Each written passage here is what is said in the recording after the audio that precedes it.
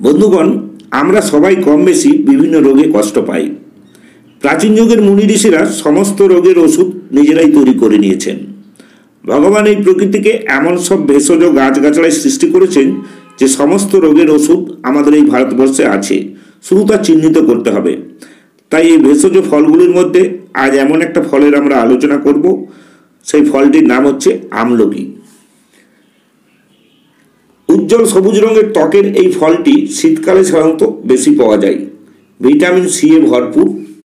আমলকিতে রয়েছে vitamin C, polyphenols, খনিজ পদার্থ, আয়রন, দস্তা। তাছাড়াও এই আমলকিতে, আমলকির গুণাবলীও প্রচুর। মেধা, দৃষ্টিশক্তি, অরুচি, অগ্নিমন্দা, চর্মরোগ, মুখের ব্রণ, দাঁত, চুলকানি, ডায়াবেটিস, সর্দি কাশি, ইনফ্লুয়েঞ্জা, দাঁতের গোড়া থেকে রক্ত পড়া নড়বড়ে দাঁত ও ত্বকের উজ্জ্বলতা আনতে সাহায্য করে। আমলকির ভেষজ গৌণ প্রচুর। ফল ও পাতা, বিভিন্ন অসুখ সারাই ও রোগ প্রতিরোধে ক্ষমতা দারুণভাবে সাহায্য করে। তাছাড়াও অ্যান্টিঅক্সিডেন্ট থাকায় শ্বেতকণিকা উৎপন্ন করতে সাহায্য করে। তাছাড়াও চুলের টনিক হিসাবে কাজ করে, চুলের বৃদ্ধি ও গোড়া মজবুত সাহায্য করে। চুলের পক্কতা ও খুশকি প্রতিরোধ করে। আমলকির রস, পেটের গোলযোগ ও কোষ্ঠকাঠিন্যর সমস্যা দূর করতে সাহায্য করে অ্যাসিডিটির সমস্যা কমতে সহায়তা করে এবং হাড়কে মজবুত করে।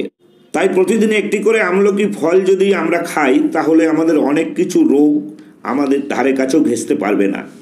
এই আমলকি ফলটি বেশিরভাগ শীতকালেই পাওয়া যায়, তাই সারা বৎসর হয়তো কাঁচা আমলকি আমরা পাবো না।